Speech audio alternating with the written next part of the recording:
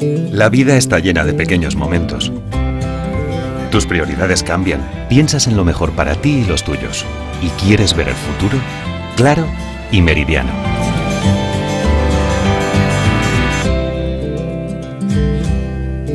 Meridiano, compañía de seguros.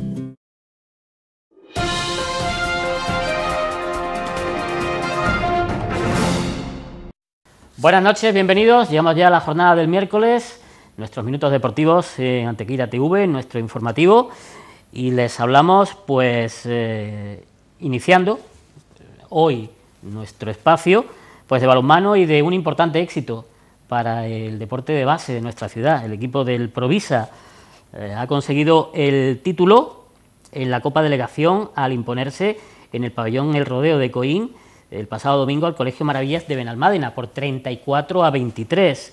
Los jugadores de Adrián ya habían conseguido el pase a la final en la ronda de semifinales al vencer a Málaga Norte por 27 a 21. Es un título más de una gran temporada del balonmano base antequerano. Decirles que el equipo infantil pues consiguió el tercer puesto en la Liga Provincial, el cadete jugó también el Campeonato de Andalucía y el Alevín pues eh, consiguió el Campeonato Provincial y también adjudicarse el Campeonato Andalucía hace breves días. Precisamente teníamos a su técnico, a Javi Ortiz, la pasada semana con nosotros. Y seguimos hablando de, balonmano base porque si se consiguió el título de la Copa Delegación eh, por parte del equipo infantil, el cadete lamentablemente quedó eliminado en la ronda semifinal y lo hizo tras perder con el Colegio de los Olivos por 38 a 22. Seguimos con más deporte y ahora hablamos de orientación porque un antequerano eh, bueno, que viene rodeado de éxitos en los últimos años en diferentes disciplinas deportivas, aunque especialmente en una, la orientación. Ah, es a día de hoy todavía, aunque ya le quedan pocos días de reinado, el mejor deportista de Antequera. Nos referimos a Carlos Riu. Carlos Riu estuvo participando en Jesenik, en la República Checa, esta pasada semana en el Campeonato de Europa y precisamente de ese acontecer en dicho campeonato pues nos ofrece cumplida información nuestro compañero Carlos Casado. Si el pasado año la cita para Carlos Riu correspondió al Mundial en Croacia, en esta ocasión el antequerano ha participado esta pasada semana en el europeo Opresión para discapacitados físicos y que ha tenido lugar en la localidad de la República Checa de Jesenik. Hasta esta población se desplazaron deportistas de hasta 18 países que buscaron sobre dos recorridos diferentes e inéditos para ellos dado que no se podían entrenar siquiera en la víspera, el agradable sabor de lo que podría suponer un triunfo Carlos convocado por la selección nacional española, participó junto a su compañero Santiago Pérez y lejos está decir que su palmarés en el presente año le ofrecían garantías suficientes para poder estar peleando por las medallas y es que su título nacional logrado el pasado mes de abril en Pontevedra, unido a su tercer puesto en el meeting internacional de Portugal o su cuarto puesto en la Liga europea del pasado mes de marzo eran elementos más que suficientes para pensar que sus opciones de acceder al podium estaban intactas. En la jornada de entrenamiento previa a la competición, el antequerano quedaba en un más que alentador decimoquinto puesto y lo mejor, con gratas sensaciones para lo que vendría posteriormente. Sin embargo, en ese estreno en competición la acumulación de errores le llevaron hasta la 36 posición. En la segunda jornada y después de corregir todo lo habido y por haber, se fue hasta la vigésima posición, lo que en el global de ambas jornadas le hicieron quedar finalmente en el puesto 33. El vencedor fue el sueco Ola Carson, que igualó con él en el meeting portugués de Lisboa semanas antes. Por lo que respecta al próximo europeo, el mismo tendrá lugar en Bratislava en el próximo año 2018. Y si ayer nos eh, ocupábamos del atletismo con esos éxitos, en el atletismo también, de categoría inferior, de los alevines sin ir más lejos del Club Gedisa. Tenemos todavía más eh, notas hoy importantes relacionadas con el propio club antequerano. Broche final de oro para la archidonesa Sonia Muriel, que acudía a los campeonatos de Andalucía de veteranos celebrados en la pista de Torremolinos el pasado fin de semana con la intención de hacer un gran 1500 y que regresó pues con la medalla de oro colgada del cuello en la categoría de F40 con un tiempo de 5 minutos 20 segundos 88 centésimas. Muchísimo mérito también el quinto puesto realizado por Laureano Mesa en los 1500 de M40, donde acudía a falto de entrenamientos exigentes que le hubiesen hecho optar por puestos cercanos al podio.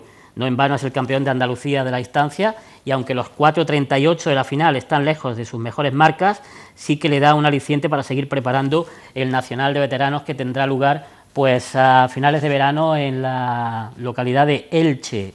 También eh, destacar a, un imparable David Arcas, que hacía buenos los pronósticos y se alzaba por cuarto año consecutivo con el triunfo en la carrera por la integración celebrada en el Parque de Welling y donde el antequerano dio pocas oportunidades al resto de sus rivales, dominando la prueba de manera concluyente. En dicha carrera de 5 kilómetros vencía Dani Pérez. David, que viene de ser medalla de bronce en el Campeonato de España de 1500, ha sido convocado para representar a Andalucía en el próximo Campeonato de España de Atletas con Discapacidad por Autonomías.